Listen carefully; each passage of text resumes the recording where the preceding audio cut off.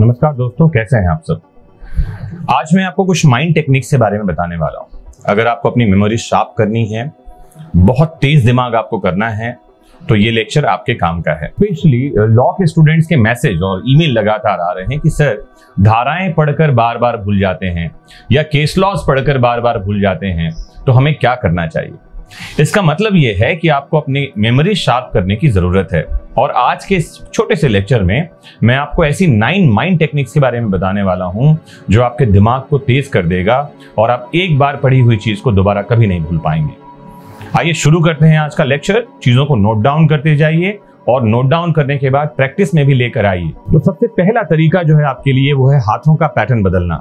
लगातार अपने हाथ का पैटर्न बदलते रहिए। Change hands pattern for brain power तो एक तरीका है ये, बहुत ही साइकोलॉजिकल इफ़ेक्टिव है ये, और करना ये है कि आपको समय समय पर लेफ़्ट हैंड से किए जाने वाले काम को राइट हैंड से करते रहना है, और राइट हैंड से किए जाने वाले कार्य को लेफ़्ट हैंड से करते रहना है। इसकी शुरुआत आप लिखने से कर सकते हैं, या किसी और काम से कर सकते हैं। जब आप ऐसा करना शुरू करते हैं तो आपके न्यूरॉन्स एक्टिव होते हैं दिमाग में और आपकी याद करने की क्षमता, याददाश्त जो है लगातार बढ़ती जाती है। दूसरा एक तरीका है अच्छी नींद लेना deep sleep for brain power आपने कभी सोचा भी नहीं होगा कि बस नींद से ही ऐसा फ़ायदा मिल सकता है। अगर किसी दिन आपके नींद के पैटर्न में कमी हो गई, गड़बड़ी हो गई तो आप थका हुआ महसूस करते होंगे, किसी भी काम में फोकस नहीं ले पाते होंगे। ठीक इसका उल्टा होता है अगर आपने प्रॉपर नींद ली है, अगर आप रात में छह से आठ घंटे की नींद लेते हैं तो दिमाग को रिलैक्स होने का भरपूर समय मिलता है, जिससे अगली सुबह आप फ्रेश महसूस करते हैं और पूरा दिन आपका फोकस के साथ बीतता है। इससे आपकी कॉन्सेंट्रेशन पावर बढ़ती है और मेमोरी पावर भी बढ़ती है। तीसरा एक तरीका है नई भाषा को सीखना to learn any new language new language का मतलब है, जो भाषा आपको आती है, उसके अलावा कोई और भाषा।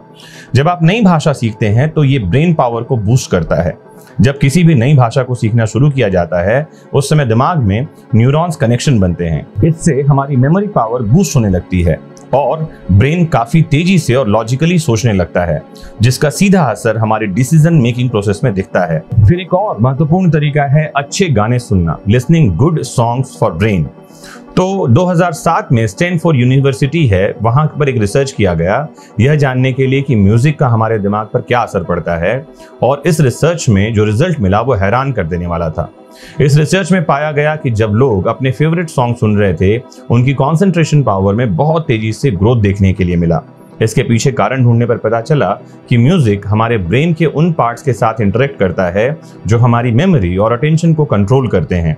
अतः खाली समय में म्यूज़िक सुन सकते हैं और बेटर होगा अगर आप इंस्ट्रूमेंटल म्यूज़िक सुनना पसंद करते हो या सुन सकें। एक तरीका है ब्रेन पजल को सॉल्व करना, दिमागी पहेली जिसे हम कहते हैं। आजकल हर किसी के मोबाइल में गेम ज़रूर है। कोशिश करें कि आप ऐसे गेम्स डाउनलोड कर लें, जो आपकी मेमोरी पावर को बूस्ट करने वाले हों। इसमें क्रॉसवर्ड पजल हो सकता है रिव्यू क्यूब हो सकता है सुडोकू हो सकता है, या चेस एक बढ़िया गेम हो सकता है।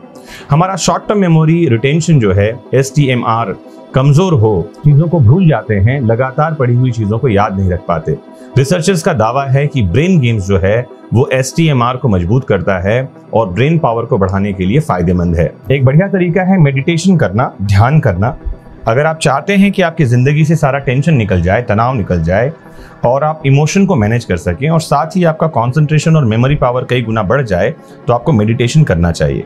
मेडिटेशन दिमाग के सीखने की क्षमता को इंक्रीज करता है, जिससे हमारा दिमाग पहले से ज़्यादा काबिल और तेज हो जाता है। आप कोई भी एक मेडिटेशन टेक्निक को अपना सकते हैं और उससे प्रैक्टिस कर सकते हैं। मेमोरी पावर बढ़ाने के लिए एक और बढ़िया तरीका है मौन धारण करना टू रिमेन साइलेंट अगर आप दिन के कुछ घंटे बिना बोले रह सकते हैं तो इसका सीधा असर आपके इंटेलिजेंस पर पड़ता है।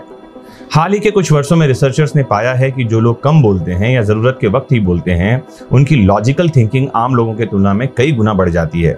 ऐसे व्यक्ति किसी भी प्रॉब्लम का सॉल्यूशन तुरंत ढूंढ लेते हैं और पढ़ी हुई बातों को याद रखते हैं। पाँच से दस मिनट अगर आप मौन रख सकें तो ये आपके मेमोरी पावर को बढ़ा सकता है। इसे इंक्रीज करते जाइए और महीने में एक दिन मौन रखने की शुरुआत कीजिए। अगर आप पाँच दस मिनट से शुरू करके दिन भर मौन रखने के लिए प्रयास करें, जिसे मौन उपवास कहा जाता है तो आपकी मेमोरी पावर कई गुना बढ़ सकती है। फिर एक तरीका है इमेजिन करना। पावर ऑफ़ इमेजिनेशन आपकी मेमोरी पावर को बढ़ा देता है। आपको बता दूँ कि 20वीं सदी के महान वैज्ञानिक अल्बर्ट आइंस्टाइन का कहना था कि imagination is more important than knowledge मतलब ज्ञान से ज़्यादा इमेजिनेशन है। और इमेजिन क्या करना है आपको? अपनी सफलता के बारे में सोचिए, आने वाले भविष्य के बारे में सोचिए। सोचिए आप अपने जीवन को कौन सा रूप देना चाहते हैं। सोचिए कि आपको चीज़ें याद हो रही हैं। इमेजिन करिए कि आपकी मेमोरी पावर बढ़ जाए तो आप उसका कितना फ़ायदा ले सकते हैं और आपके जीवन में क्या क्या अच्छे बदलाव आ सकते हैं। फिर लास्ट एक टेक्निक आपके लिए है, वो है बुक पढ़ना, किताबें पढ़ना। तो ये जो नवी टेक्निक है, ये तो आप कर ही रहे हैं। किताबें पढ़ना, लगातार पढ़ना, पढ़ते रहना और रिविजन करना। अगर आपने कोई सेक्शन पढ़ लिया है, कोई केस लॉ पढ़ लिया है तो उसे नोट डाउन करिए। नोट डाउन करने के बाद फिर रिपीट करिए और रिवाइज करते रहिए। ये नौ टेक्निक ऐसे हैं जो आपकी मेमोरी पावर को कई गुना बढ़ा देंगे।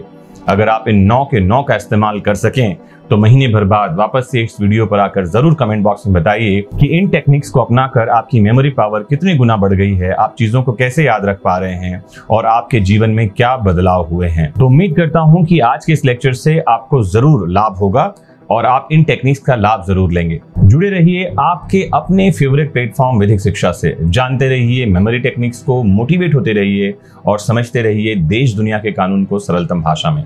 नमस्कार।